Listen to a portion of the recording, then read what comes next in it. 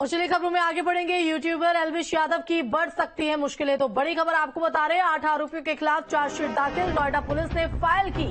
1200 page की chargesheet. तो सांपों का जहर सप्लाई मामले में आईएफएसएल रिपोर्ट रेप पार्टी में इस्तेमाल होता था सांपों का जहर। तो इस वक्त की बड़ी खबर आपको बता रहे यूट्यूबर एलविश यादव की बढ़ सकती है मुश्किलें। तो आठ आरोपियों के खिलाफ चार्जशीट दाखिल की गई है। नोएडा पुलिस ने फ़ाइल की है 1200 पेज की चार्जशीट। तो सांपों का जहर सप्लाई मामले में एफएसएल रिपोर्ट सामने आई है। रेप पार्टी में इस्तेमाल होता था सांपों का जहर। और अब एक बार फिर से मुश्किलों में घिरते हुए एलविश यादव अभी फ़िलहाल बेल पर बाहर। संवाददाता अमित चौधरी हमारे साथ लाइव जुड़ गए। नोएडा से सीधा उन्हीं का रुख करते हैं। एक बार फिर से अमित, एलविश यादव की मुश्किलें बढ़ते हुए नज़र आ रही हैं।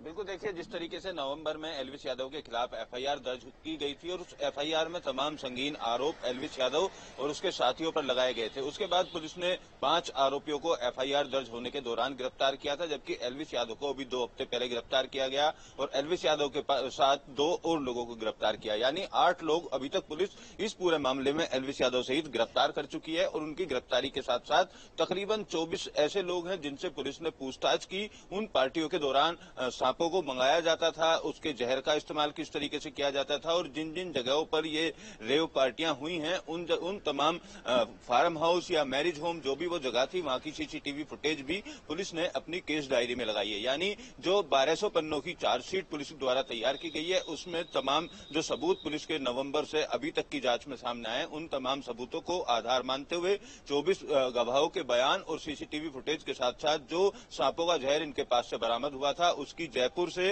एफएसएल रिपोर्ट जो आई थी, उस रिपोर्ट को भी इस चार्जशीट में लगाया गया यानी जिस तरीके से एनडीपीएस एक्ट के तहत एलविश यादव को गिरफ़्तार किया गया था, एनडीपीएस एक्ट किस तरीके से इस पूरे केस में सामने आई, उन तमाम तथ्यों को लगाते हुए चार्जशीट को कोर्ट में दाखिल कर दिया गया। पुलिस अधिकारियों का मानना है, कुछ ही दिन बाद इस पूरे मामले में ट्रायल होगा और एलविश यादव को लगातार ग्रेटर नोएडा के सूरजपुर कोर्ट में अपनी जो पेशी है, उस पर आना होगा और आने वाले दिनों में कोर्ट किस तरीके का निर्णय लेती है इन तमाम आरोपों को लेकर? इसमें सजा होने का भी प्रावधान है। अगर एनडीपीएस एक्ट की बात की जाए तो एनडीपीएस एक्ट में जो कानून के जानकार हैं वो इस बात को साफ़ तौर पर कहते नज़र आते हैं कि दो साल से लेकर सात साल तक की सजा का भी प्राविधान है। लेकिन उसमें अभी काफ़ी समय लगेगा कोर्ट के अंदर ट्रायल होगा। लेकिन जिस तरीके से बारह पन्नों की चार्जशीट को पुलिस के द्वारा तैयार किया गया तमाम गवाहों के बयानों को इसमें बिल्कुल अभी बारह पेज की जो चार्जशीट कोर्ट में पेश की गई है। इनमें किन किन बातों का ज़िक्र है क्या क्या आरोप है जरा वो भी बताइएगा।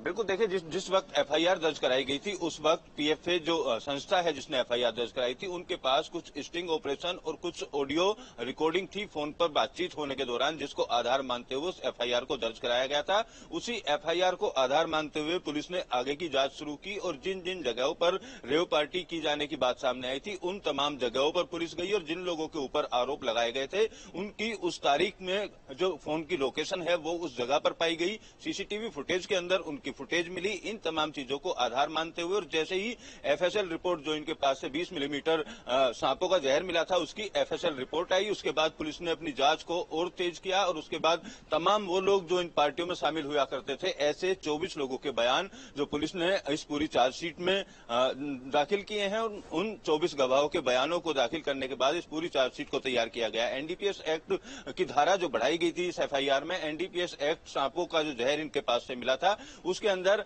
जो कोकीन है उसकी मात्रा पाई गई थी जिस लिहाज पर एनडीपीएस एक्ट को इसमें बढ़ाया गया था। तो वो एफएसएल रिपोर्ट में उस बात की पुष्टि हुई। इन तमाम हम्म। तथ्यों को सीसीटीवी फुटेज के साथ में इनकी फ़ोन कॉल डिटेल और मोबाइल की लोकेशन तमाम चीज़ों को आधार बनाते हुए और एक कड़ी से दूसरी कड़ी को जोड़ते हुए जैसे एक राहुल यादव नाम का किरदार इस पूरे केस में सामने आया था। राहुल यादव वो किरदार था जो एलविस यादव या जो सपेरों से सांपों के इन तक हम्म। पहुँचाने की बीच की कड़ी थी। बिल्कुल तो एफएसएल रिपोर्ट में तो इस बात को पुख्ता कर लिया गया है और अब 1200 पेज की ये चार्जशीट भी दाखिल हो गई। आगे से जाँच कैसे बढ़ती है देखना होगा। फ़िलहाल बहुत शुक्रिया।